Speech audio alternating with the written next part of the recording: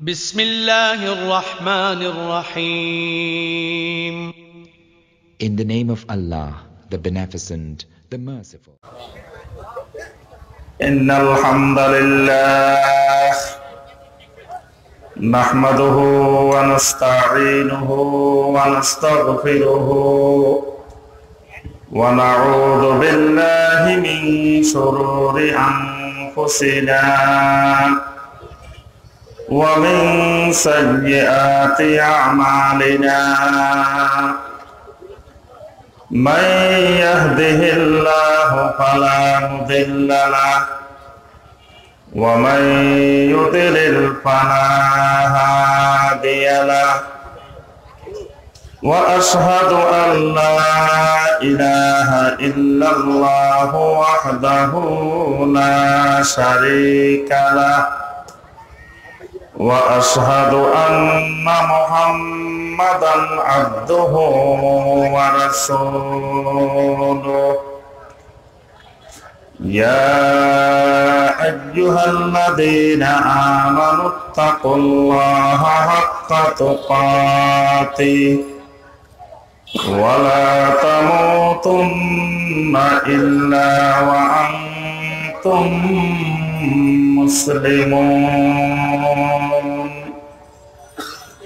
يا أيها الناس اتقوا ربكم الذي خلقكم من نفس واحدة. من نفس واحدة وخلق منها زوجها وبث منهما. وبث منهما رجالا كثيرا ونساء. واتقوا الله الذي تساءلون به والأرحام. إن الله كان عليكم رقيبا. يا أيها الذين آمنوا اتقوا الله وقولوا قولا سديدا يصلح لكم أعمالكم ويغفر لكم ذنوبكم ومن يطع الله ورسوله فقد فاز فوزا عظيما. أما بعد فإن خير الحديث كتاب الله. وخير الهدي هدي محمد صلى الله عليه وسلم. وشر الأمور محدثاتها. وكل محدثة بدعة. وكل بدعة ضلالة. وكل ضلالة في النار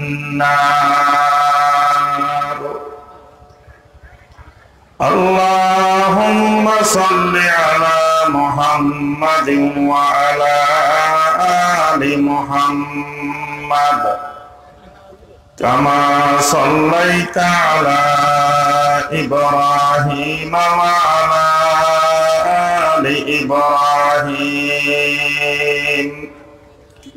إنك حميد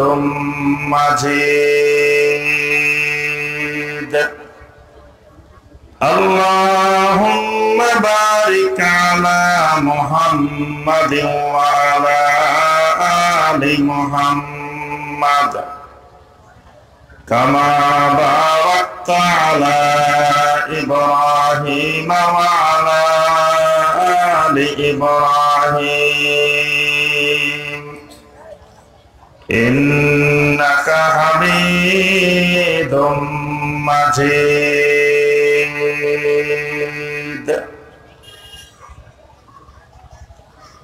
নোয়াখালী জেলার কবিরহাট উপজেলার অন্তর্গত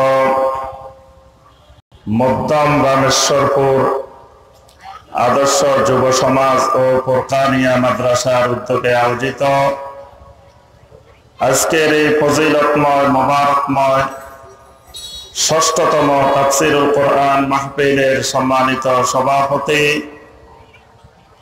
অত্র এলাকার বিভিন্ন মসজিদ এবং মাদ্রাসার সম্মানিত আইমাই মাসাজেদ এবং ওলামাই কেরাম, অত্র এলাকার আমার মুরব্বিয়ান আজাম আমার অত্যন্ত আদরের স্নেহের মহব্বতের যুবক, কিশোর, শিশু, ভাইয়েরা এবং পর্দার আড়ালের আমার সম্মানিত মা এবং বোনেরা। আল্লাহ রব্বুল আলমিনের দরবারে কোটি কোটি শুক্রিয়া যে মহান রব্বুল আলমিন আমাদেরকে গত দু তিন দিনের এরকম বৃষ্টির মধ্য দিয়েও আজকে সলাতুল আসরের পর থেকে শুরু করে এ পর্যন্ত কোরআন ও সন্না থেকে অনেক বিজ্ঞ ওলামাই কারামদের নিকট থেকে আলোচনা শোনার পরে এই পর্যায়ে এসে সলাতুল আসার পরে কোরআনে করিম এবং হাদিস নবী সাল্লাহ আলহি ওয়াসাল্লাম থেকে দুই একটি কথাবার্তা বলার এবং আপনাদেরকে শোনার যে মহান রব্বুল আলমিন ব্যবস্থা করে দিয়েছেন, সে মহান রব্বুল আলমিনের শকর আদায় করি, সকলে বলি আলহামদুলিল্লাহ।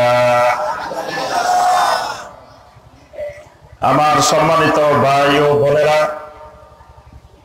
আমার আগে কয়েকজন সম্মানিত ওলামাই কেরাম আলোচনা করেছেন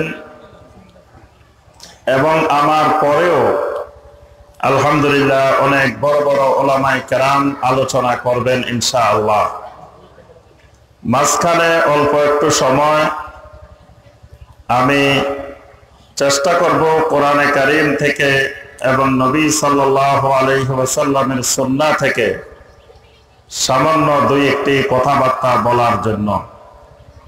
আশা করব আপনারা মনোযোগ দিয়ে কথাগুলো ভালোভাবে বোঝার জন্য। এবং মাঝে মাঝে দুই একটি কথাবার্তা জিজ্ঞাসা করলে আমরা একটু হা না কথাবার্তা বলার চেষ্টা করব ইনশা আল্লাহ তবে ওয়াজ করারও কিছু সুন্নতি পদ্ধতি আছে। নবী সাল্লাহ আলহি ওয়াসাল্লাম ওয়াজ করতেন কিনা? এটা কথা কয় না। কথা বলতে হবে তো কিছু। আল্লাহ রসুল সাল্লাহ আলহি ওয়াসাল্লাম ওয়াজ করতেন কিনা? সাহাবাই কেরাম রদওয়ানুল্লাহ আলহিম আজমাইন তারা ওয়াজ করতেন কিনা? অর্থাৎ জমিনে সবচেয়ে বড় ওয়াইস সবচেয়ে বড় খতিব, খতিবে আজম কে বলেন দেখি? মোহাম্মদ রসুল্লাহ সাল্লাহ আলহি ওয়াসাল্লাম। তাহলে ওই খতিবে আজম এবং খতিবে আজমের ছাত্র, সরাসরি স্টুডেন্ট সাহাবাই কেরাম আজমাইন তারা যেই পদ্ধতিতে ওয়াজ করতেন, বয়ান করতেন, কেয়ামত পর্যন্ত এই পদ্ধতিতে বয়ান করা হলো সুন্নত। এই পদ্ধতির বাহিরে গেলে সেটা সুন্নতের খেলাফ। এই জন্য ওয়াজ করার সময় সুন্নতের দিকে, সুন্নতের পদ্ধতির দিকে খেয়াল রাখতে হবে। আজকে ওয়াজ মাহফিলের অনেক নতুন নতুন পদ্ধতি আবিষ্কার হয়েছে। অনেক জায়গায় বক্তা শুধু গান গায়, শ্রোতারাও তালে তালে গান গায়, গান শোনার জন্য ওয়াজ মাহফিলে আসে। কোন কোন জায়গায় বক্তা নাচে, শ্রোতারাও নাচে। জিকিরের তালে তালে বিভিন্ন রঙের নাচ শীতের জিকির, কোদালি জিকির, লাফানি জিকির, বিভিন্ন ধরনের জিকিরের তালে তালে নাচের অনুষ্ঠান চলে ওয়াজ মাহফিলে। এই জন্য চেষ্টা করতে হবে যে ওয়াজ কম হোক, আলোচনা কম হোক, কিন্তু সেটা হইতে হবে আজম মোহাম্মদ রসুল্লাহ সাল্লাল্লাহু আলাইহি ওয়াসাল্লামের পদ্ধতিতে। আল্লাহ রসুল সাল্লাম খোদ্া শুরু করার আলোচনা শুরু করার, ওয়াজ শুরু করার আগে এই আয়াতে কারিমাগুলো তালাবাত করে শুরু করতেন। যে আয়াতে কারিমাগুলো আমি আপনাদের সামনে তালাবাত করেছি। আল্লাহ রসুল সাল্লাহ আলহি আলোচনার মাঝখান দিয়ে সাহাবাই কেরামকে প্রশ্ন করতেন। সাহাবাই কেরাম জানলে কিছু বলতেন, না জানলে বলতেন, আল্লাহ রসুল আলাম।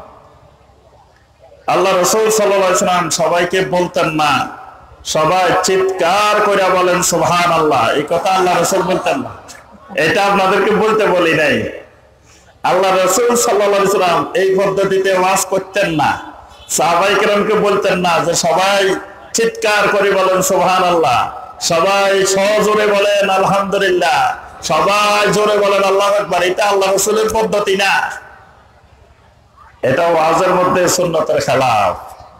ওয়াজের মধ্যে কোরআন সুন্নার বাহিরে কথা বলা সুন্নতের খেলাফ। গান গাওয়া সুন্নতের খেলাফ। কবিতা বলা, শেখ সাদি রহমতুল্লাহ আলী ফরমাইছেন। তারপরে আল্লামা ইকবাল রহমতুল্লাহ আলী ফরমাইছেন, এটাকে তখন বলা যাবে যখন কোরআনে কারিমের একটা আয়াতের তাফসির করতে গিয়ে প্রথমে কোরআনের তাফসির কোরআন দিয়ে করতে হবে। তারপরে নবী সালামের সহি হাদিস দিয়ে করতে হবে। তারপরে ওই শব্দটাকে বোঝানোর জন্য কোন কবির কবিতায় যদি শব্দটা থাকে, তখন ওই কবিতাটা বলা যাবে। কিন্তু মূল ওয়াজেই যদি হয় কবিতা, এটা নবী সাল্লা সাল্লামের সুন্নতের খেলাফ। এই জন্য আমার ভাইয়েরা এবং বোনেরা, আমরা সুন্নত মেনে অল্প আমল করলে আর সুন্নতের বাহিরে গিয়ে বস্তা বস্তা আমল করার চাইতে এটা অনেক বেশি উত্তম সোহান আল্লাহ এই জন্য আল্লাহ রসুল সাল্লাম বলছেন, আমালুন কলিলুন ফি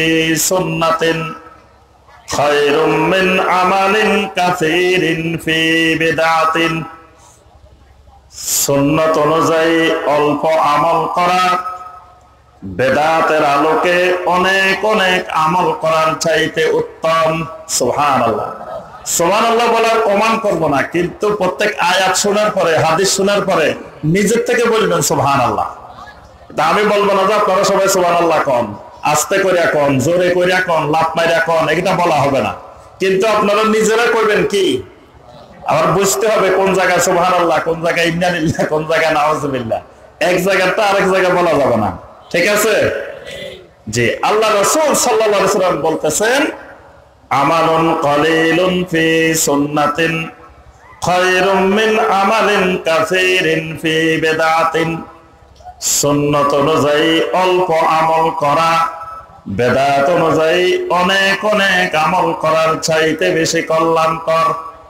তাহলে বেদাতি পদ্ধতিতে সারা রাত ওয়াজ করার চাইতে, সারা রাত বয়ান করার চাইতে সুন্নত পদ্ধতিতে অল্প কিছুক্ষণ বয়ান করা অনেক বেশি উত্তম। সোহান আল্লাহ এই জন্য ওয়াজ বেশি দরকার নাই ওয়াজ আমরা সবাই জানি। ওয়াজ আমি যা বলব সব আপনারা জানেন। দেখবেন যে সব কমন পড়ে গেছে। কমন পড়া বুঝেন নাই। মানে আপনারা আমার আলোচনার মধ্য থেকে যেটা যেটা আপনি জানেন, মনে করবেন যে এটা সব কমন পড়ে গেছে। তো শেষ পর্যন্ত দেখবেন যে আমি যা বলছি একশো পার্সেন্টে কমন পড়ে গেছে। সবে আপনি জানেন। ওয়াজ কিন্তু সব আমাদের জানা কথা। আমাদের জানার বাইরে কোনো ওয়াজ নাই। দরকার হলো আমাদের আমল। আমাদের এলেম এবং ওয়াজ, আলহামদুলিল্লাহ, সবারই জানা আছে। এখন বেশি বেশি যেটা দরকার, সেটা হলো আমাদের আমল। আচ্ছা আমার ভাইয়েরা, আমি আজকে যে বিষয়ে আলোচনা করব ইনশাআল্লাহ, বিষয়টি হলো সুন্নতি আমলের গুরুত্ব। বেদাত মুক্ত, সুন্নতি আমল কীভাবে করতে হয়? এই বিষয়ের উপরে আমি দুই একটি কথাবার্তা বলার জন্য চেষ্টা করব ইনশাআল্লাহ। সুন্নত তো সবাই বুঝেন নাকি? কথা বলা না দেখি। আরে নোয়াখালীর মানুষ সুন্নত বুঝে না, এটা তো কল্পনার বাইরে। নোয়াখালী অঞ্চলের কৃষক যেই ভাই মাঠে কাজ করেন, সেই ভাইও আলহামদুলিল্লাহ ইসলাম সম্পর্কে, কোরআন সম্পর্কে, দিন সম্পর্কে যা জানেন, অনেক অঞ্চলের, অনেক এলাকার মসজিদের ইমাম সাহেবেরও সেটা জানেন না তো ইনশাল্লাহ এই এলাকায় যদি সুন্নত না বুঝে, আর বুঝব কোথায় এই জন্য এই এলাকায় তো সবাই সুন্নত বুঝেন নাকি। তাহলে সুন্নত বুঝছি, বেদাত বুঝি কিনা, বেদাত? বেদাত বুঝেন। মানে সুন্নতের বিপরীত হইলে, সুন্নতের উল্টা হইলে, সেটার নাম কি? বিদআত তবে মাঝখানে একটা আছে। সুন্নত আর বেদাতের মাঝখানে আরেকটা আছে। সেটা কি বলেন দেখি? সুন্নত একদিকে, বেদাত একদিকে। মাঝখানে একটা জিনিস আছে। সেটা হলো খেলাফে সুন্নত। সেটার নাম হলো কি? খেলাফে সুন্নত। আচ্ছা রাস্তার মোড়ে আপনারা দেখছেন, এই যে ট্রাফিক সিগন্যাল দেখছেন ট্রাফিক সিগন্যাল ট্রাফিক সিগন্যাল দেখেন নাই? ট্রাফিক সিগন্যালের মধ্যে বাতি কয়টা থাকে? আচ্ছা আমরা এদিকে তাকাই, ওইদিকে আমাদের প্রধান মেহমান আসছেন, ওইদিকে তাকানোর দরকার নাই। ট্রাফিক সিগন্যালের মধ্যে লাইট কয়টা থাকে? আপনারা দেখছেন তো ভালো করে। নাকি রাস্তা দিয়ে চোখ বন্ধ করে হাঁটেন? হাঁটার সময় চোখ খোলা থাকে না বন্ধ থাকে? তাহলে লাইট কয়টা থাকে? তিনটা কালারগুলা বলেন দেখি, কয়টা কোন কালার? একটা সবুজ কালার একটা হলুদ কালার আর একটা লাল কালার, মাশাআল্লাহ, সব জানে। দেখছেন কমন পড়ে গেছে, সব জানা কথা। তাহলে তিনটে বাতি থাকে ওখানে। একটা বাতি জ্বললে, সবুজ বাতি যদি জ্বলে, তার অর্থ হলো আপনি চলে যান রাস্তা ক্লিয়ার আপনি যেতে পারেন। লাল বাতি যদি থাকে, তার অর্থ হলো আপনি যাওয়া যাবে না, নিষিদ্ধ, দাঁড়ায় থাকেন। হলুদ বাতি হলো, আপনি যাইতেও পারেন, নাও যাইতে পারেন। সিদ্ধান্ত কোনো ফাইনাল না, মাঝখানে আছেন। এজন্য একটা চিন্তা ভাবনা করতে হবে। আল্লাহ রসুল সাল্লাহ আলাইসাল্লাম যেই কাজটা যেমনে করেছেন, যখন করেছেন, যেভাবে করেছেন, ঠিক সেইভাবে সেই সময়ে সেই মতে করার নাম হলো সুন্নত। কোন কারণে আপনি ভুলবশত কাজটা এদিক সেদিক করে ফেলছেন, ডানে বামে করে ফেলছেন, তখন এটার সাথে সাথে এটা বেদাত হবে না, এটা হবে খেলাফে সুন্নত। সুন্নতের খেলাফ করে ফেলছেন, সুন্নতের বাহিরে করে ফেলছেন। একজন আলেম এসে অথবা একজন ভাই এসে আপনাকে বলে দিল, ভাইজান যে কাজটা করছেন, এই কাজটা সুন্নতের খেলাফ হয়েছে সুন্নতের বাহিরে হয়েছে আপনার এই কাজটা নবী ওয়াসাল্লামের সুন্নত অনুযায়ী হয় নাই। আমি নবী সাল্লাম বলছি, আপনারা দেখি সাল্লাম বলেন না। আমি প্রথমেই বলছি কমান করব না, কিন্তু প্রত্যেক সময়ে সময়ে আল্লাহর জিকির করতে হবে।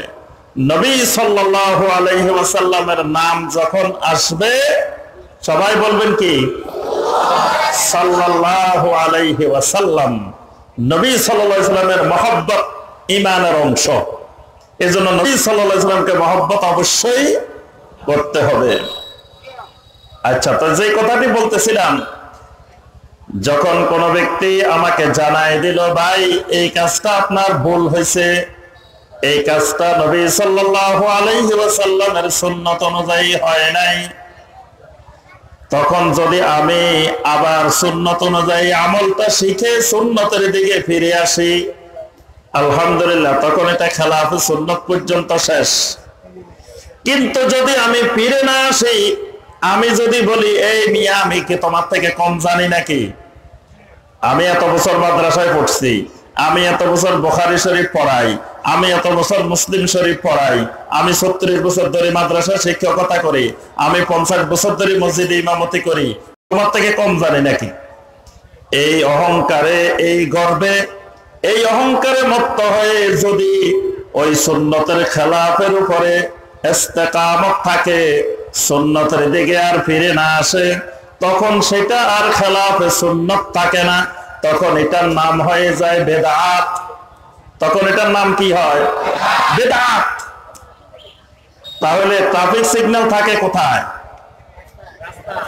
রাস্তায়। কিন্তু এখন বর্তমানে দেখা যায়, বাংলাদেশের মসজিদে মসজিদে ট্রাফিক সিগন্যাল আপনাদের এলাকা মনে হয় নাই? কি বলে? এই দেশেও আছে। এত আলেমন আমার দেশ, এই দেশে তো থাকার কথা না। কারণ এখানে আলহামদুলিল্লাহ, যত আলেমা আছেন, বাংলাদেশের কোন এলাকায়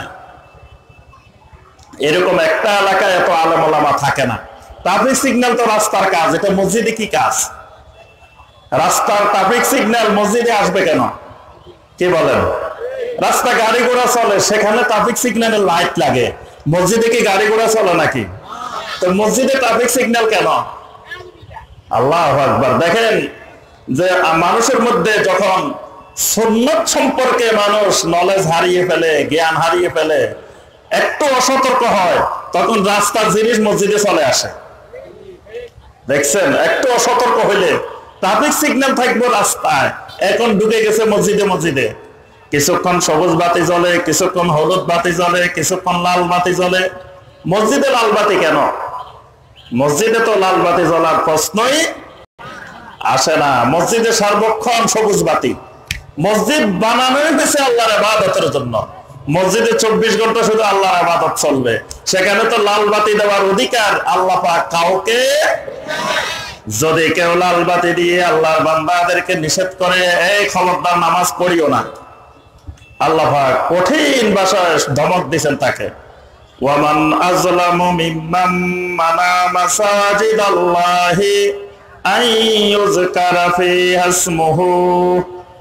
আমার মসজিদে, আমার ঘরে আমার নাম উচ্চারণ করবে, আমার জিকির করবে, সলাত আদায় করবে।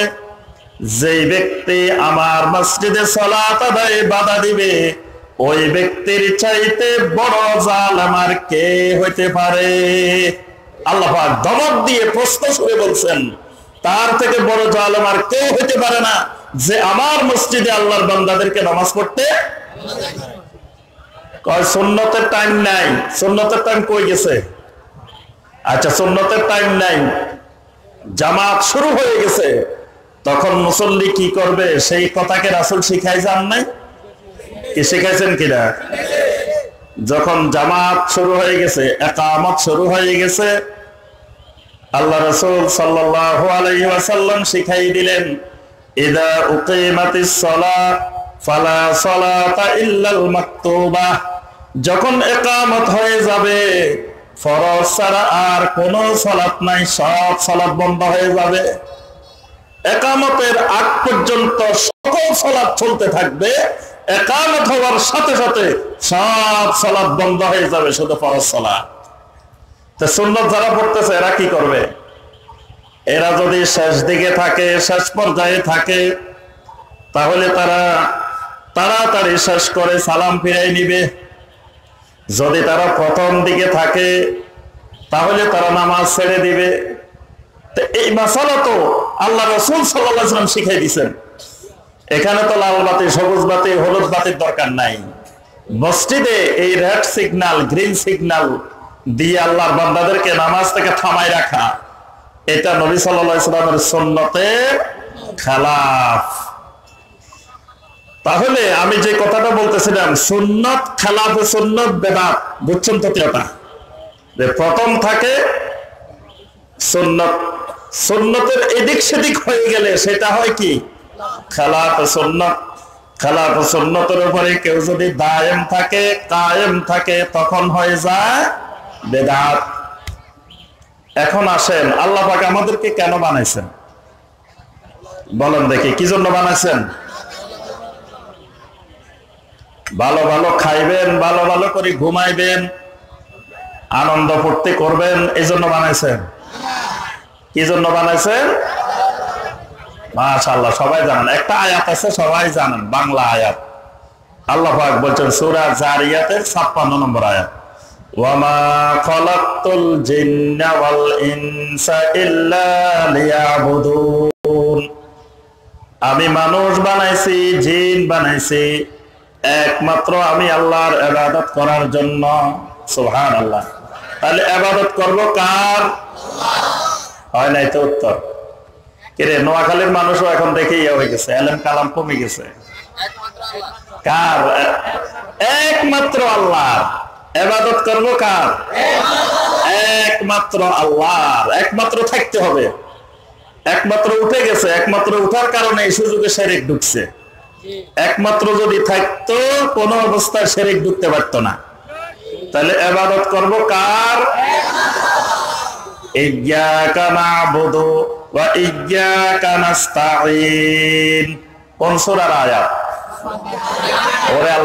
একবার সব জানান আপনারা। জানার বাইরে একটা কথা বলছি। সব আপনাদের জানা আছে। কোন সুরা? সবচেয়ে সহজ সুরা যেটা সবাই পারেন। এবাদত করি একমাত্র আপনার। ইয়্যাকা আছে না? একমাত্র।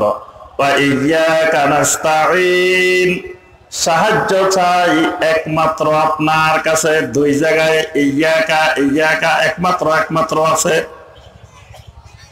আল্লাহর কোন বান্দা যদি এবাদত একমাত্র আল্লাহর করত, তাহলে আল্লাহকে বাদ দিয়ে কোন জীবিত অলি, মৃত অলি আল্লাহর কোন বান্দাকে সাজদা দিতে পারত কিনা? পারত? সাজদা করা কি? করা?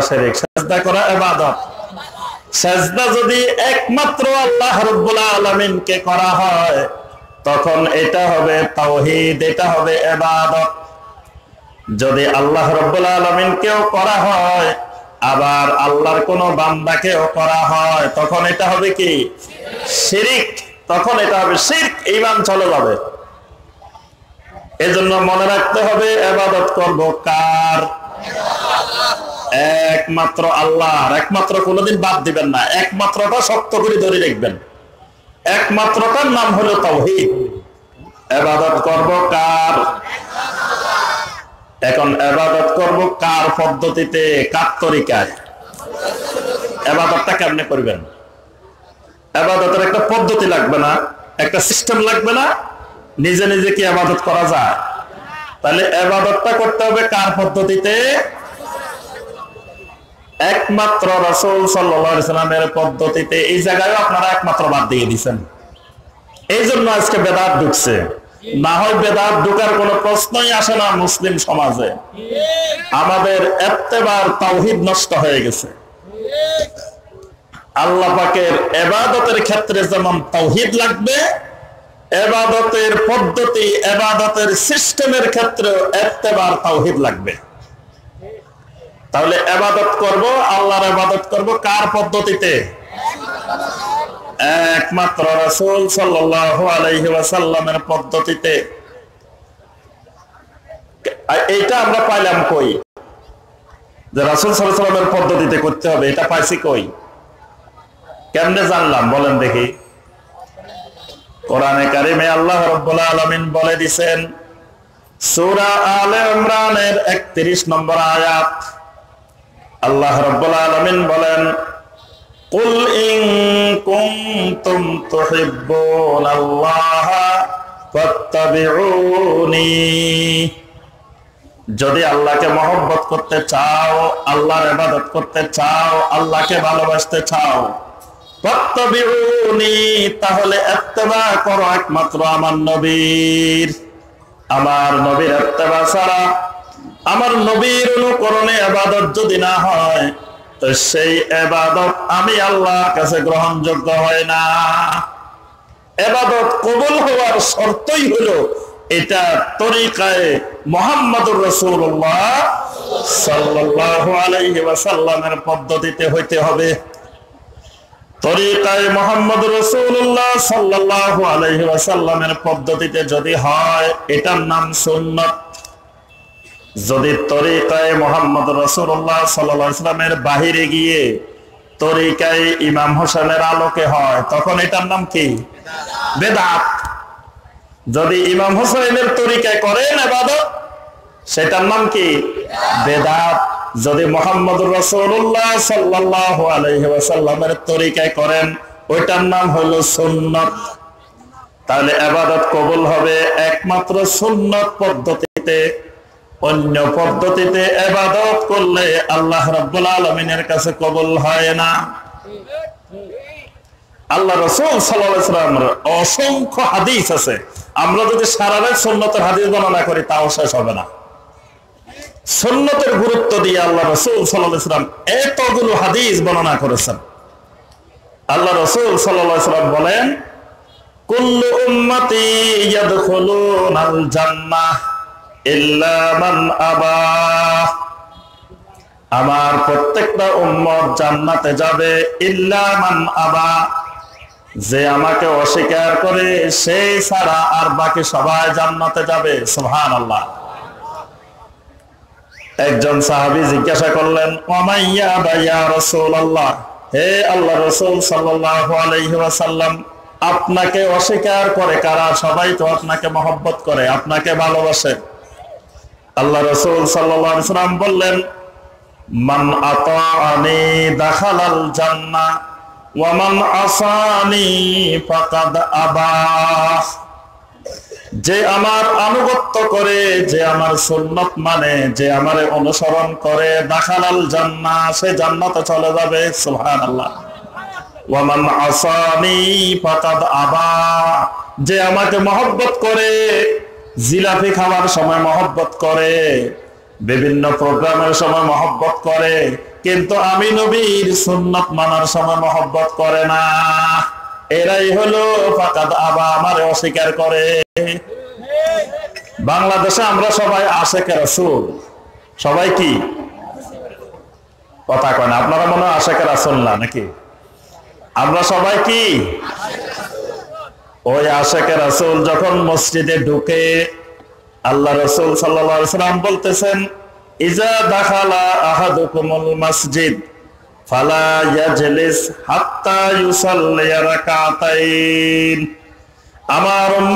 যে কেউ মসজিদে খবরদার ফালা বসতে পারবে না। হাত্তা ইউসাল্লিয়া রাকাতাইন। যতক্ষণ পর্যন্ত না কম পক্ষে দুই রাকাত নামাজ পড়বা। দুই রাকাত নামাজ পড়লে বসার অনুমতি পাইবা। দুই রাকাত নামাজ যদি না পড়ো, মসজিদে বসার অনুমতি নাই।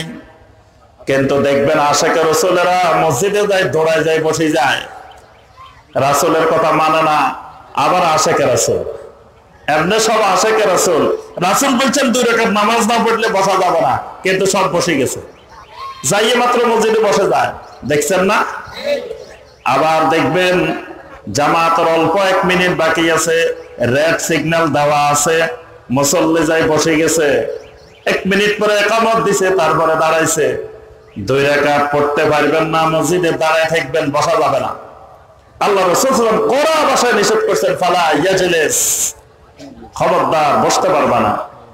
তো এখন বসা যাবে না রাসুল বলতেছেন, বসতে পারবা না। রাসুলের কথা মানতে রাজি নাই। ক, আমি বসমো, কি হয়েছে দেখি। রাসুলকে বসতে পারব না। ক, আমি বসমো চাই, তোমার কি হয়েছে এখান দিয়ে সব আশেকে রসুল, বারো রবি আসলে সব আশেকে রসুল। তারপরে মিলাদের সময় সব আশেকে রসুল। গান গাওয়ার সময় সব আমার সোনার মদিনা, আমার প্রাণের মদিনা মদিনা যাওয়ার জন্য পাগল। ডানা থাকলে উড়ি চলে যেতাম সাই মদিনা। সব সময় মদিনার আশেক, মদিনার পাগল, মদিনার আশেক আশেকে রসুল। কিন্তু রাসুলের রাসুলের নির্দেশ মানার সময় খবর নাই। এই জন্য আল্লাহ রসুল সাল্লাম বলছেন, যে আমার আনুগত্য করে, আমার সুন্নত মানে সেই হলো আমার প্রকৃত আশেক, সেই জান্নাতে যাবে। ওয়ামান আসানি ফাকাদ আবা। যে আমার সুন্নত মানে না, আমার নির্দেশ অনুসরণ করে না, সে আমাকে অস্বীকার করে। যত মুখে মহব্বত বলুক না কেন, মুখে মহব্বত, চোখে মুখে মহব্বত। কিন্তু আমলের ক্ষেত্রে, সুন্নতের ক্ষেত্রে, নবীর আদর্শের ক্ষেত্রে মহব্বত নাই। তাহলে সুন্নত পালন করলে আল্লাহ পাক সবার অলি হতে পারে কিনা? সুন্নত মানে না। আল্লাহর অলি হতে পারে। কারণ সুন্নত না মানলে সুন্নতের এত্তেবা না করলে আল্লাহ রব্বুল আলমিন মহব্বত করেন না। তা আল্লাহ মহব্বত না করলে আল্লাহর অলি কেমনে হয়? তাহলে সুন্নতের বাহিরে গিয়ে কেউ আল্লাহর অলি হইতে তাহলে ল্যাংটা বাবা অলি হতে পারে কিনা ল্যাংটা বাবা অলি হতে পারে। যদি কেউ বিশ্বাস করে ল্যাংটা বাবার ভিতরে কি আছে আমরা জানি না। বিরাট আল্লাহর অলি এই লোকের ইমানও চলে যাইব। যে বিশ্বাস করবে যে ল্যাংটা বাবা অলি হতে পারে, তার ইমানেই থাকবে না। কারণ আমার নবীর সন্ন্যতের বাইরে গিয়ে কে আমার পর্যন্ত কোন মানুষ আল্লাহর অলি হতে পারবে না। আমার নবী জীবনে কোনোদিন সতর খোলেন নাই। আমার নবীর সতর জীবনে কেউ দেখেন নাই। আমার নবীর সাহাবিরা লক্ষাধিক সাহাবি ছিলেন, আল্লাহর অলি ছিলেন, খালি অলি না অলির বাপ ছিলেন, জান্নাতের সার্টিফিকেট পাওয়া অলি ছিলেন। আল্লাহর এই অলিরা জীবনে কোনোদিন ল্যাংটা হন নাই, কোন ল্যাংটা বাবা সাহাবিদের মধ্যে পাওয়া যায় নাই, কোন জটওয়ালা সাহাবিদের মধ্যে পাওয়া যায় নাই, কোন লম্বা নখওয়ালা সাহাবিদের মধ্যে পাওয়া যায় নাই, লম্বা গোফওয়ালা সাহাবিদের মধ্যে পাওয়া যায় নাই। তারপরে আপনার বিভিন্ন লেবাস ধরে, বিভিন্ন বেশভূষা ধরে অলি সাজা এই জাতীয় পদ্ধতি আমার নবীর সাহাবিদের মধ্যে পাওয়া যায় নাই। সুতরাং সুন্নতের বাহিরে গিয়ে কোন ব্যক্তি জীবনে আল্লাহর অলি হতে পারে না। আল্লাহর অলি হতে হলে সুন্নতের আত্মারা লাগবে। সুন্নতের বাহিরে গিয়ে কাউ, কেউ যদি অলি হয়েছে মনে করে, যে বিশ্বাস করবে যে আল্লাহর অলি তারও ইমান থাকবে না। এই জন্য অলি হওয়ার এক নম্বর সত্য সুন্নতের পরিপূর্ণ আত্মা থাকতে হবে। তার একটা আমল, একটা কাজও নবী সাল্লাল্লাহু আলাইহি সাল্লামের সুন্নতের বাহিরে যেতে পারবে না। সুন্নত মানে চললে আরেকটা পুরস্কার আল্লাহ রাব্বুল আলামিন দিবেন। আল্লাহ রাব্বুল আলামিন তোমাদের গুনাহগুলো maaf করে দিবেন। সুবহানাল্লাহ। গুনাহ সব আল্লাহ maaf করে দিবেন। সুবহানাল্লাহ। এর থেকে বড় নিয়ামত আর কি হইতে পারে? কিয়ামতের ময়দানে আল্লাহ রাব্বুল আলামিন ডেকে যদি বলেন, ওই অমুক ছাপরা সিরাতের অমুক, ওই অমুক গ্রামের অমুক এদিকে আসো। আমি আল্লাহ তোমার সব গুণা মাফ করে দিলাম। সোহান আল্লাহ কিয়ামতের ময়দানে আল্লাহ যদি এই কথা বলে, আর কিছু দরকার আছে? আল্লাহ যদি ডাকি, কয়, এই, শোন, তোর সব গুণা আমি আল্লাহ মাফ করে দিছি। এবার আল্লাহ যেখানে দিবে দেখ। নিরাপদ হয়ে গেলাম যে আল্লাহ আমার সব গুণা মাফ করে দিছেন। তাহলে সুন্নতের উপরে আমল করলে, সুন্নতের উপরে থাকলে আল্লাহ কি করেন? কথা কয় না। আল্লাহ ভালোবাসেন, আল্লাহ পাক গুনাহ সব মাফ করে দেন। এটা হলো সুন্নতের সবচেয়ে বড় ফায়দা। তাহলে মাথা থেকে পা পর্যন্ত কার তরিকা সাজাবেন কার তাহলে আল্লাহ রসুল সাল্লাম কি দাড়িওয়ালা ছিলেন না দাড়িবিহীন ছিলেন? যে নাকি নবী সাল্লাম প্রতিদিন দাড়ি কাটি ফেলতেন? তাহলে আশাকে রসুলেরা কি প্রতিদিন দাড়ি কাটি ফেলতে হবে? কি বলেন? আল্লাহ রসুলের সুন্নত মানি রসুলকে মহব্বত করি, কিন্তু দাড়ি রাখতে কষ্ট হয়। দাড়ি রাখলে স্ত্রী পছন্দ করে না, দাড়ি রাখলে অফিসের বস পছন্দ করে না, দাড়ি রাখলে বিয়ে করতে গেলে পাত্রী পাওয়া যায় না। খুব অবস্থা খারাপ, চাকরি পাওয়া যায় না, বিয়ে করা যায় না, কত সমস্যা। কিন্তু যিনি নবী সাল্লামের সুন্নতের এত্তেবা করবেন, তিনি চিন্তা করবেন যে আল্লাহ আমাকে সৃষ্টি করেছেন, সেই আল্লাহ আমার রিজিকের ব্যবস্থা করে রেখেছেন।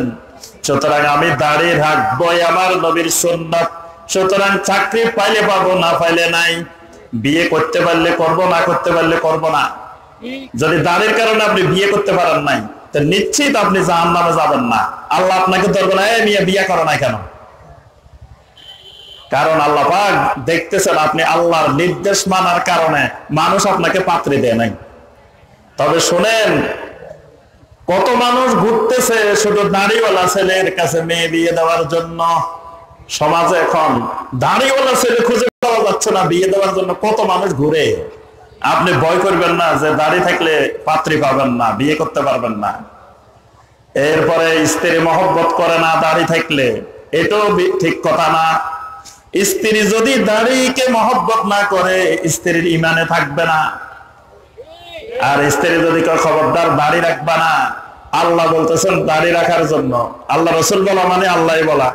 আল্লাহর নির্দেশ দাড়ি রাখা, রাসুলের নির্দেশ দাড়ি রাখা, স্ত্রীর নির্দেশ দাড়ি না রাখা, কার নির্দেশ মানব? যদি আল্লাহ এবং রাসূলের নির্দেশের উপরে স্ত্রীর নির্দেশকে অগ্রাধিকার দেন ইমান থাকবে না। ইমানে চলে যাবে। তাহলে জীবনের সর্বক্ষেত্রে কি মানতে হবে? সন্ন্যত অনুসরণ করতে হবে। আচ্ছা এবার আসেন বেদাত। বেদাত করলে অসুবিধা কি? বেদাতের ক্ষতিও জানতে হবে। বেদাতের সবচেয়ে বড় ক্ষতি হলো, বেদাত করলে জাহান নামে যাইতে হবে। কোথায় যেতে হবে? সুন্নত মানলে জান্নাতে যেতে পারবেন, আর বেদাত করলে যেতে হবে কোথায়? আল্লাহ রসুল সাল্লাম বলেন, কুল্লু দলালাহ। ফিন্নার। দুনিয়াতে যত বেদাত আছে, সব বেদাত হলো গুমরাহি দলালা দলালাতিন ফিন্নার। যত গুমরাহি আছে, সমস্ত গুমরাহি জাহান্নামে যাবে। নাউজুবিল্লাহ তাহলে বেদাতের পরিণাম কি? জাহান্নাম। চাইতে বেদাতগুলো দেখতে অনেক সুন্দর, শুনতে অনেক সুন্দর, বলতে অনেক সুন্দর। বাহ্যিক ভাবে দেখতে বেদাতকে সুন্দর মনে হয়, কারণ বেদাত হলো আগাছা। আগাছা সবসময় দেখবেন সুন্দর। ধান ক্ষেতের মধ্যে আগাছা উঠে এমন ভাবে উঠে যায়, সবার আগে লম্বা হয়ে যায়, সবার আগে মোটা তাজা হয়ে যায়, অন্য ফসলগুলোকে ছাপ দিয়ে নষ্ট করে ফেলায়। বেদাত এরকম আগাছা, দিনের মধ্যে আগাছা, এগুলো দেখবে যে সুন্দর দেখা যায়, এগুলো দেখতে খারাপ না। কারণ বেদাত যদি দেখতে খারাপ দেখা যায় তো সমাজের কোন মানুষ বেদাত করতো না। কারণ জাল টাকা যদি সুন্দর না হয়, বেজাল জিনিস, দুই নম্বর জিনিস যদি সুন্দর না হয়, ওইটা সমাজে খাওয়ানো যায় না, বাজারে চলে না। বাজারে দুই নম্বর জিনিস চালাইতে হলে নকল জিনিস চালাইতে হলে এটাকে চাকচিক্যময় করতে হয়, সুন্দর করতে হয়। এজন্য বেদাত দেখতে সুন্দর দেখা যায়, শুনতে সুন্দর দেখা যায়, বলতে সুন্দর দেখা যায়। কিন্তু যত সুন্দরে দেখা যাক, এই সুন্দরের পরিণাম হলো জাহান্নাম। যত সুন্দর দেখা যাক, এই সুন্দরের পরিণাম হবে কি? জাহান্নাম। এই জন্য আমার ভাইয়েরা, সুন্নত আছে যেখানে বেদাত আছে যেখানে মাশাআল্লাহ, এটা মনে রাখতে হবে। সুন্নত আছে যেখানে আমরা কোন দল বুঝি না, আমরা কোন ব্যক্তি বুঝি না, আমরা কোন পীর সাহেব বুঝি না, আমরা কোন মতাদর্শ বুঝি না, আমরা যার কাছে সুন্নত আছে, আমরা তার সাথে আছি। ঠিক আছে? যার কাছে বেদাত আছে, তার সাথে নাই। তিনি যত বড় বুজুর্গ হন, যত বড় আল্লাহ আল্লাহ হন, যত বড় নামি দামি আলেম হন, বেদাত থাকলে আমরা নাই। বেদাত থাকলে ওনার সাথে আমরা নাই, কিন্তু সুন্নত থাকলে আমরা ওনার সাথে আছি। তিনি কে, এটা আমার দেখার বিষয় না। এজন্য আমাদের সাথে বাংলাদেশের কোন আলেম ওলামার শত্রুতা নাই, বিরোধ নাই। আমাদের সাথে বাংলাদেশের কোন ইসলামী দলের কোনো বিরোধ নাই। আমাদের সাথে বাংলাদেশের কোন ফির সাহেবের বিরোধ নাই। কারণ আমরা কোন ফির সাহেবেরও বিরোধী না, কোন আলেম ওলামারও বিরোধী না, কোন দলেরও বিরোধী না। আমরা বিরোধী সেরেক আর বেদাতের। আমরা বিরোধিতা করি শিরকের আর বিধাতের আমরা পক্ষে তাওহিদের আর সুন্নতের। এজন্য তাওহিদ সুন্নত যেখানে আমরা আছি সেখানে, সেরেক বেদাত যেখানে আমরা নাই সেখানে। এজন্য সম্মানিত ভাইয়েরা আপনারা সবসময় স্লোগান মনে রাখবেন, যেখানে তাওহিদ, যেখানে সুন্নত, সেখানে আমরা। যেখানে বেদাত, যেখানে সেরেক সেখানে আমরা নাই। কারণ সেরেকের কারণে জাহান নামে যাওয়া লাগবে, বেদাতের কারণে জাহান নামে যাওয়া লাগবে, সুতরাং ওই কাজে আমরা নাই। তাহলে বেদাত বুঝে গেছেন, আলহামদুলিল্লাহ, নাকি? এবার আসেন, বেদাতের, সুন্নত বেদাতের কিছু মূলনীতি জানা দরকার। এই মূলনীতিগুলো না জানলে ভালো করে বুঝবেন না। যতটুকু বলছি, এই ভাষা ভাষা কথায় বুঝবেন না। নবী আলাইহি যেখানে যেই কাজ করছেন, সেখানে ওই কাজটা করার নাম সুন্নত। যেখানে করেন নাই, সেখানে না করার নাম সুন্নত। একটাকে বলে সুন্নতে ফেলিয়া, আরেকটাকে বলে সুন্নতে তারকিয়া। একটা সুন্নতে ফেলিয়া আর একটা সুন্নতে তারকিয়া। মানে একই আমল, একই কাজ। এক জায়গায় করলে সুন্নত, আরেক জায়গায় করলে কথা কয় না, আমার কথা মনে বুঝে না। এক- একই জিনিস, একই আমল, একই কাজ। এক জায়গায় করলে সুন্নত আরেক জায়গায় করলে বেদাত। তাহলে আমি একটা উদাহরণ দিই। পাঁচ ওয়াক্ত নামাজের আজান দেওয়া হয়। আপনাদের এলাকায় দেনি আজান কয়বার দে পাঁচবার। আচ্ছা ঈদের নামাজ হয় বছরে কয়বার? ঈদের নামাজের আজান হয় কিনা? জানাজার নামাজ হয় কিনা? জানাজার নামাজের আজান হয় কিনা? তো আজান দেওয়া কি ভালো কাজ না গুনার কাজ আবার বলেন? আজান দেওয়া তো ভালো কাজ। তাহলে আমি ঈদের নামাজেও আজান দিব, জানাজার নামাজও আজান দিব, অসুবিধা আছে? কি বলে, আপনারা কি মুক্তি সাহ ফতোয়া দিতেছেন? হ্যাঁ? আমি ঈদের নামাজে আজান দিব, জানাজার নামাজে আজান দিব, কোনো অসুবিধা হবে? আজান দিলে কি গুনাহ হয়? আজান তো ভালো কাজ। হ্যাঁ মাশাল্লাহ দিন বুঝে গেছে, ইসলাম বুঝে গেছে, আলহামদুলিল্লাহ। এই জন্য আজান যত ভালো কাজ হোক না কেন, আমার রসুল ওয়াসাল্লামের চারজন মুয়াজ্জিন ছিলেন। কয়জন? মসজিদের নববীতে ছিলেন দুইজন, মসজিদে কোবায় ছিলেন একজন, মসজিদে হারামে ছিলেন একজন। এই চারজনকে বলা হয় মুআজ্জিন রাসূলুল্লাহ সাল্লাল্লাহু আলাইহি ওয়াসাল্লাম। এরা চারজন আল্লাহ রাসূল ওয়াসাল্লামের মুআজ্জিন নবী ওয়াসাল্লামের উপরে সালাত ফরজ হওয়ার পরে 10 বছর পর্যন্ত এই চারজন মুয়াজ্জিন আজান দিবেন এই চারজন মুয়াজ্জিন পাঁচ ওয়াক্ত নামাজের জন্য পাঁচবার আজান দিবেন জীবনে নবী ওয়াসাল্লাম এই 10 বছরে 20 বার ঈদের নামাজে ইমামতি করছেন। কোন ঈদের নামাজে আজান দেওয়া হয় নাই। শত শত জানাজার নামাজে নবী ওয়াসাল্লাম ইমামতি করছেন, কিন্তু জানাজার নামাজে আজান হয় নাই। এই জন্য আজান যত ভালো কাজ হোক না কেন, পাঁচ ওয়াক্ত নামাজের জন্য দিলে এটা সুন্নত। কিন্তু ঈদের নামাজে দিলে, জানাজার নামাজে দিলে এটা হয়ে যায় কি? বেদাত। এই জায়গায় আজান দিলে সোয়াব হয়, এই জায়গায় আজান দিলে জান্নাতে যাওয়া যায়।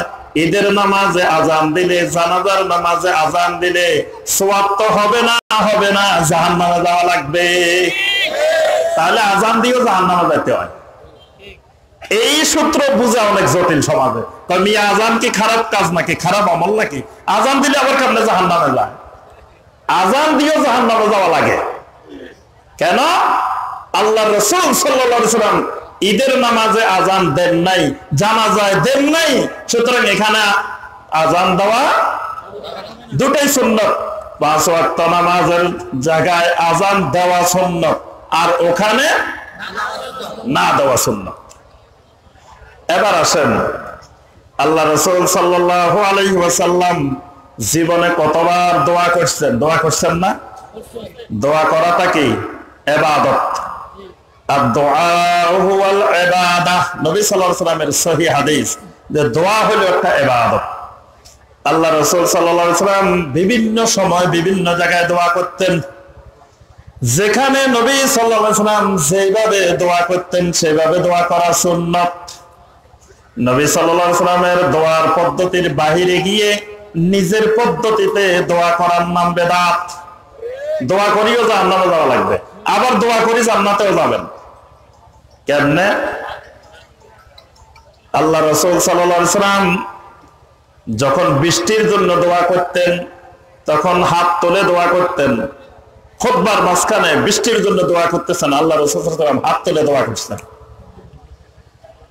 মসজিদে ঢুকার সময় নবী সাল্লাম দোয়া করতেন, মসজিদ থেকে বাহির হওয়ার সময়ও দোয়া করতেন।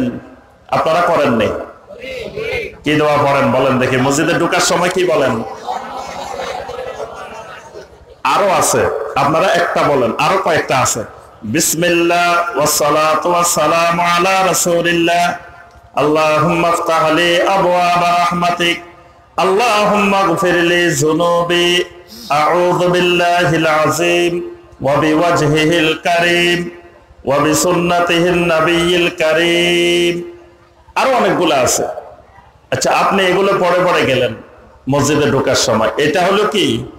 সুন্নত।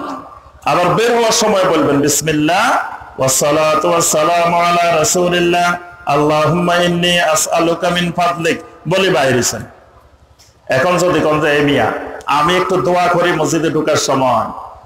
তো এইভাবে দোয়া পড়লে হাত না তুললে কি দোয়া হয় নাকি? মোনাজাত হয় নাকি? তা আপনি মসজিদের সামনে দাঁড়াইলেন দাঁড়াই হাত তুললেন, বিসমিল্লাহ ওয়াসালাত ওয়াসালাম আলা اللهم افتح لي أبواب رحمتك اللهم اغفر لي ذنوبي রব্বুল আলামিন তোমার মসজিদে কতবার আসা যাওয়া করি সকালে আসি দুপুরে আসি বিকালে আসি রব্বুল আলামিন আমার জিন্দগির সব গুনাহ মাফ করে দাও এই দোয়া করি মসজিদ কাজ করছেন না ভালো কাজ করছেন কাজটা তো দেখতে খুব ভালো খারাপের কিছু আছে যে এরকম মোনাজাত করে মসজিদে ঢুকলে সোয়াব হইব না গুণা হইব? কেন গুণা হইব? দোয়া পড়ার সময় থাকে। দোয়া পড়ে না সময়। কি দোয়া পড়েন? আপনাদের দেশে কি দোয়া শুনি? মাশাআল্লাহ, এই দেশের দোয়াই তো সবচেয়ে বিশুদ্ধ দোয়া। কারণ আমরাই তো সারা বাংলাদেশের দোয়া শিখাইছি, কি বলেন? নোয়াখালীর আলমেরাই সারা বাংলাদেশে শিখাইছে। সে রংপুর যান, দিনাজপুর যান, কুড়িগ্রাম, লালমনিরহাট, গাইবান্ধা নোয়াখালীর আলমদের থেকে আমরা ইসলাম শিখছি, কোরআন শিখছি, সব শিখছি। তাহলে দোয়া তো আমরা শিখেছি সবাই কি বলেন? হ্যাঁ তো এই যে দোয়া পড়ছেন, আলহামদুলিল্লাহ, টয়লেটে ঢোকার সময়। আবার বেরোয়ার সময় দোয়া পড়ছেন। পড়ছেন না? কত সুন্দর দোয়া সুন্দর পদ্ধতিতে দোয়া পড়ছেন। এখন আমি চিন্তা করলাম, টয়লেটে ঢোকার আগে আমি একটু সুন্দর করে মোনাজাত করি। কারণ কি? কারণ ওই সময় আল্লাহ রব্বুল আলমিন দোয়া বেশি কবল করেন। যখন আরও বিপদে থাকে, মুসিবতের মধ্যে থাকে সময় তো বড় মুসিবত। অসহায়, বিপদগ্রস্ত অবস্থায়। তো দোয়া কবুলের সময় নাই, সময়? কি বলেন? কথা কয় না যে সময় মানুষ বিপদে থাকে, অসহায় অবস্থায় থাকে ওই সময় আল্লাহ সুবাহ দোয়া বেশি কবুল করেন। তো এটাও তো একটা বিপদের সময়, অসহায়ের সময়। তা আচ্ছা আমি টয়লেটের সামনে গেলাম। গিয়ে ক্যাবলা মুখে হয়ে দাঁড়াইলাম। দাঁড়ায় আমি দোয়া করলাম।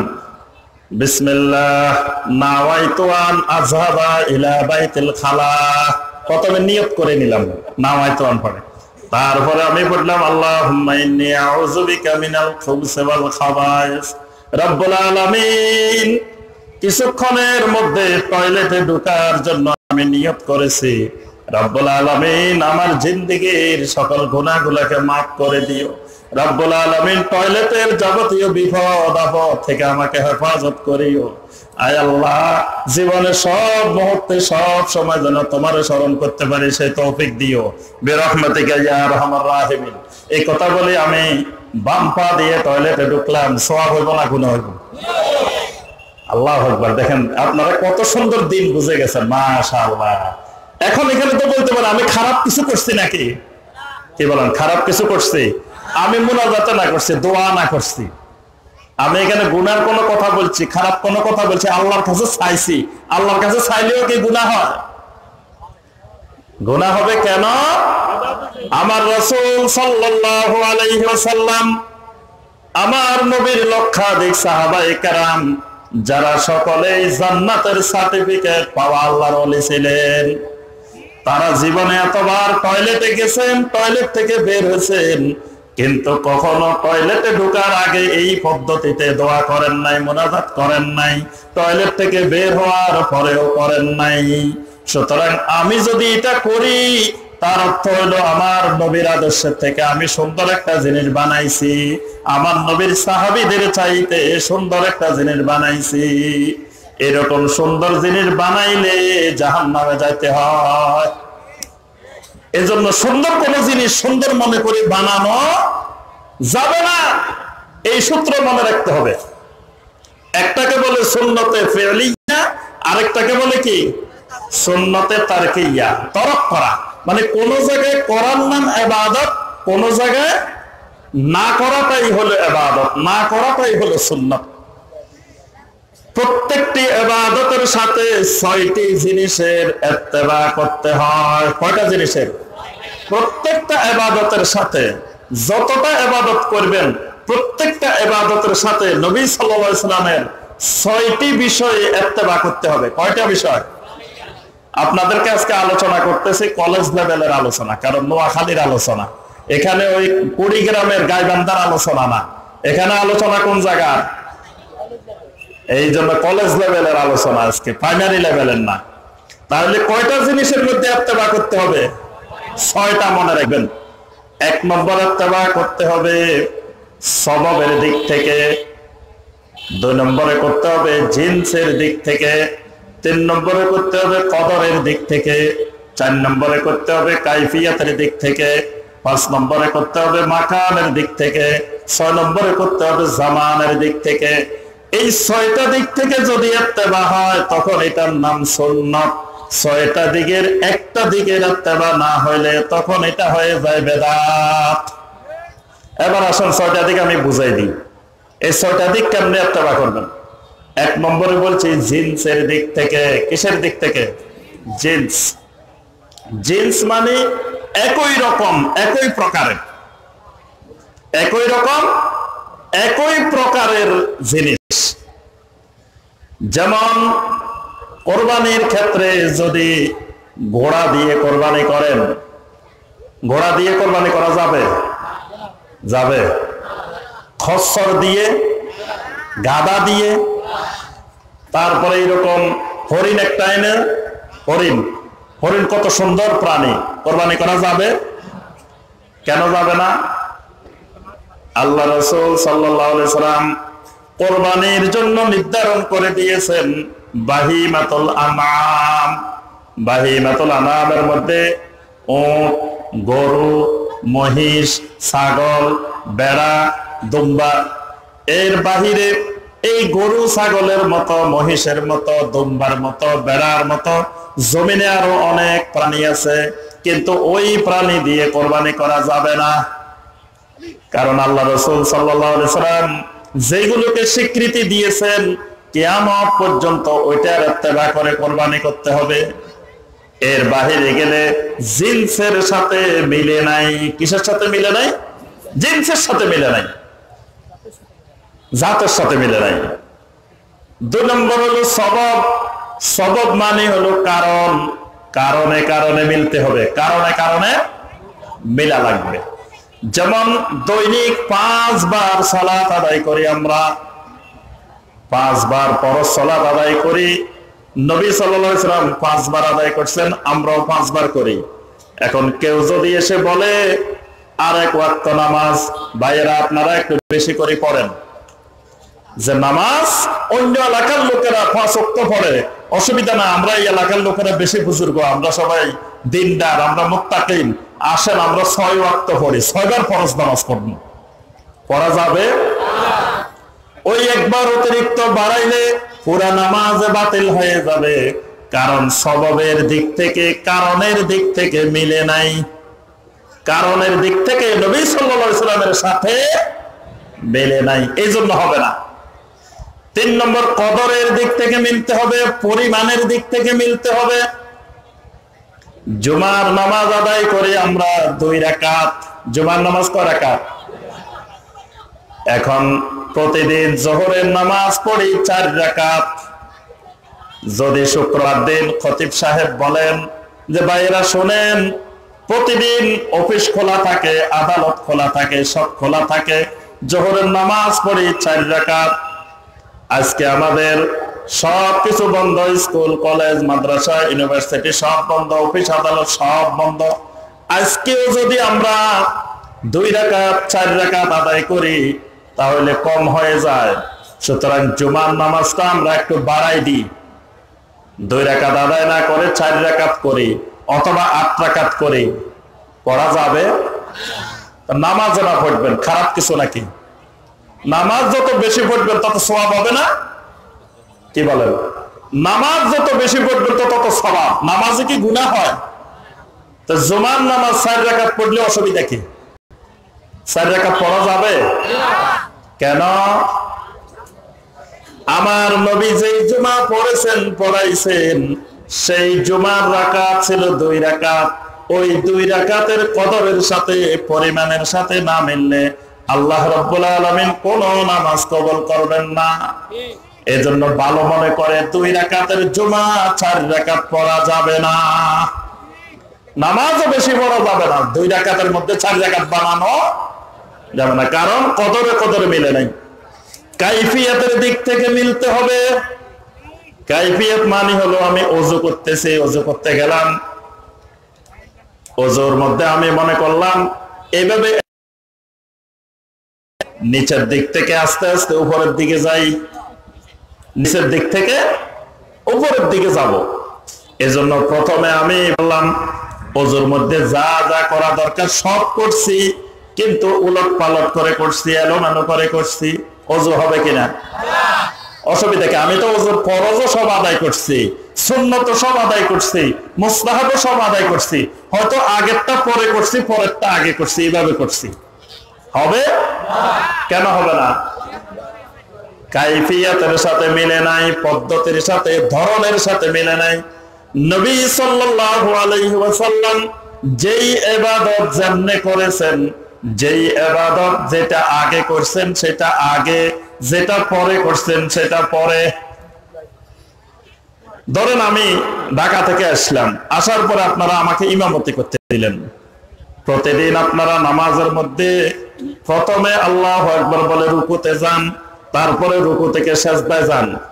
আমি এসে বললাম, না ভাই, শোনেন, আজকে অনেক কষ্ট করি আছি আজকে আপনাদেরকে আরও সুন্দর নামাজ শেখানো আগে আল্লাহ একবার বলে, সেজদায় যাব তারপরে সেজদা থেকে উঠে রুকু করব তারপরে দাঁড়াই যাব মানে প্রথমে আল্লাহ একবার বলে সেজদায় চলে গেলাম। দুই সেজদা করে উঠেন, উঠলাম, উঠে রুকু করলাম, তারপরে কারাত পড়লাম। মানে আগের সেজদা, তারপরে রুকু। আপনারা রাজি হইবেন? কেন? আমি তো রুকুও করতেছি, সেজদা করতেছি, কোনোটা কিন্তু বাদ দিই নাই। হয়তো আগেরটা পরে নিছি, পরেরটা আগে নিছি। রাজি হবেন? কেন? আল্লাহ রসুল ওয়াসাল্লাম যেই নামাজ আমাদেরকে শিখাইছেন, সেই নামাজ আগে রুকু শিখাইছেন, তারপরে সাজদা শিখাইছেন। কেয়ামত পর্যন্ত নামাজের পদ্ধতি তরিকায় মোহাম্মদুর রাসূলুল্লাহ সাল্লাল্লাহু আলাইহি ওয়াসাল্লামের পদ্ধতি। সুতরাং আমি ডক্টর ইমাম হোসাইন নয় এইরকম আরও কোটি কোটি ডক্টর ইমাম হোসাইন আসিও যদি কয়, আগে রুকু না, আগে সেজদা, তারপরে রুকু, মানা যাবে না। মানলে সেটা বেদাত, সেই আবাদত আল্লাহ কবুল করবে না। এই জন্য মনে রাখতে হবে সব জায়গায় এই নীতিমালা, যত বড় হুজুর হোক, যত বড় মুক্তি সাহেব হোক সকল মুক্তির সেরা মুক্তি। সকল মুক্তির বড় মুক্তিকে মুফতি আজম মোহাম্মদুর রসুল্লাহ সাল্লাল্লাহু আলাইহি ওয়াসাল্লাম। ইমামে আজম, সকল ইমামের বড় ইমাম মোহাম্মদ রসুল্লাহ সাল্লাল্লাহু আলাইহি ওয়াসাল্লাম। ইমামুল মুত্তাকিন, ইমামুল মুরসালিন মোহাম্মদ রসুল্লাহ সাল্লাল্লাহু আলাইহি ওয়াসাল্লাম। সুতরাং সব হুজুরের বড় হুজুর মোহাম্মদ রসুল্লাহ সাল্লাল্লাহু আলাইহি সাল্লাম। যেই এবাদত তিনি যেভাবে করছেন কে কেয়ামত পর্যন্ত হুক হুক সেভাবে করতে হবে। চারটা গেছে, পাঁচ নম্বর আসেন, মাকানের দিক থেকে এত্তেবা করতে হবে। মাকান মানে জায়গা। জিলহজ মাসের নয় তারিখে আরাফাতের ময়দানে বসে থাকা, অবস্থান করার নাম এবাদত হজ। কেউ যদি সেদিন আরাফার ময়দানের সীমানায় না বসে যদি দশ তারিখে মিনায় এসে বসে থাকে হজ হবে? কেন? মিনেও তো পবিত্র জায়গা মুজদালিফও পবিত্র জায়গা। তো এক জায়গায় বসে থাকলে তো হয় অথবা আল্লাহ ঘরের ভিতরে ঢুকি বসে রয়েছে। আরও পবিত্র জায়গায় বসে রয়েছে দশ নয় তারিখে। হজ হবে? কেন?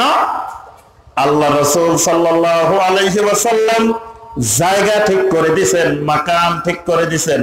ওই জায়গার বাহিরে গেলে দুনিয়ার যত পবিত্র জায়গা, যত উন্নত জায়গা হোক, আল্লাহ রব্বুল আলমিন কবুল করবেন না।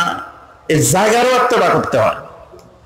জামানের আত্মবা করতে হয়। সময়ের আত্মবা করতে হয়। আল্লাহ রসুল সাল্লাম যেই সময়ে যে আবাদত করছেন, সেই সময়ে সেই আবাদত করতে হয়। ধরেন এখন এসার নামাজের সময় ঝড়, বৃষ্টি, তুফান, আকাশ খুব খারাপ। ইমাম সাহেব বলল, ভাইয়েরা, শোনেন, এমনি আপনারা হয়। আজকে আরও আকাশের অবস্থা খুব খারাপ। আসেন এসার নামাজের সাথে ফজরের জামাত করে ফেলি। তাহলে আপনারা রাত্রে একটু আজকে ভালো করে ঘুমাইতে পারবেন। ফজরের সময় উঠা লাগবে না। পড়বেন আসার নামাজের সাথে। কেন? সমাজে যখন আপনি বলবেন, এটা বেদাত তখন আপনার কাছে অনেক ভাই দলিল চাইব। কবে যায় মিয়া? এটা কোন হাদিসে পাইছো বেদাত দেখাই যাও। এটা কোন কিতাবে পাইছো বেদাত দেখাই যাও। এবার কি করবেন? এটা না জানলে বেদাত এমন বেকায়দায় ফুটবেন। কারণ বেদাতের শক্তি বেশি সমাজে, বেদাতের জোর বেশি, বেদাতের ইনকাম বেশি, বেদাতের প্রচলন বেশি, বেদাত খুব শক্তিশালী। আপনি যখন করবেন বেদাত লাগে না। দলিল লাগে, সুন্নতের জন্য সুন্নতের দলিল থাকে। দলিল থাকবে কিসের? সুন্নতের। বেদাতের কোনো দলিল থাকে না। দলিলেই যদি থাকতো, দলিলেই যদি থাকতো, তাহলে এটা বেদাত হইতো না, এটা সুন্নতেই হইতো। এটা দলিল নাই, এজন্য এটা বেদাত। দলিল নাই বলে এটা বেদাত। দলিলই যদি থাকতো, তো এটা তো সুন্নতে থাকতো, এটা বেদাত হইতো না। এজন্য যিনি বলবেন এটা সুন্নত, দলিল দিতে হবে তাকে। যিনি বলবেন বেদাত, তাকে দলিল দেওয়া লাগবে না। আমি এই জন্য সব জায়গায় একটা উদাহরণ দিই। এই যে সামনে একটা সুন্দর বাড়ি আছে। আমি আপনাদেরকে মাহফিলে বললাম যে সম্মানিত ভাই ও বোনেরা, ওই যে সুন্দর বাড়িটা দেখতেছেন, এই বাড়িটা কিন্তু আমার না। এই বাড়িটা আমার না।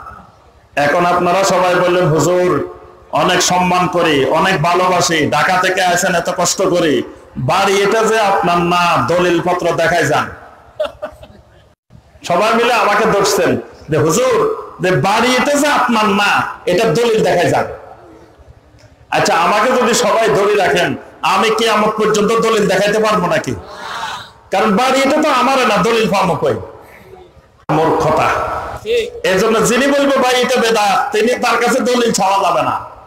যিনি বলবেন এটা সুন্নত, দলিল দেখাবেন কে? দলিল দেখাবেন তিনি, যিনি সুন্নত বলবেন তিনি। এই জন্য বেদাতের কাছে দলিল চাইলে তো বলবেন যে ভাই, এটা দলিল নাই। দলিল থাকলে তো এটা বেদাতে হইতো না, এটা সুন্নতে হয়ে যেত। যিনি বলছেন সুন্নত, উনি দলিল দেখান কোরআনে কারিম থেকে, নবী আলাইহি সাল্লামের সহিহ হাদিস থেকে। আমার সম্মানিত ভাই ও বোনেরা আপনারা জানেন যে আমার আরেকটা প্রোগ্রাম আছে বসরাটের ওখানে। তো আমার সময়ও শেষ। ইনশাল্লাহ আল্লাহ পাক বাসা রাখলে আরও ভবিষ্যতে ইনশাল্লাহ দেখা হবে। তো আমরা সর্বশেষ কথা এটা যে আমরা সব সময় বেদাত থেকে একশো গজ দূরে থাকব। তো সবসময় আমরা বেদাত থেকে দূরে থাকার জন্য চেষ্টা করব, আর সুন্নতের সবসময়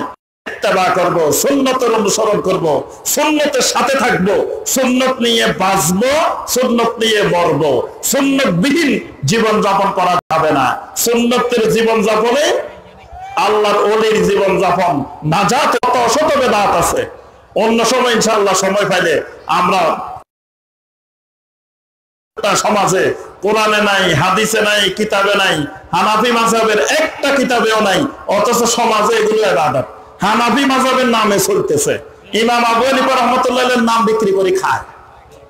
অথচ যিনি ইমাম আবু হানিফা রহমতুল্লাহ নাম বলে, হানাফি মাজাবের নাম বলে ধর্মের ব্যবসা করতেছেন, তিনি হলো মাজাবি তিনি হানাফি মাজাব থেকে বের হয়ে গেছেন।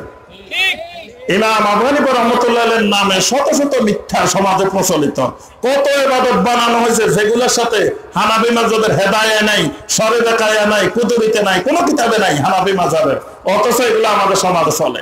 এই জন্য এই সকল বেদাতগুলো থেকে আমাদেরকে দূরে থাকতে হবে।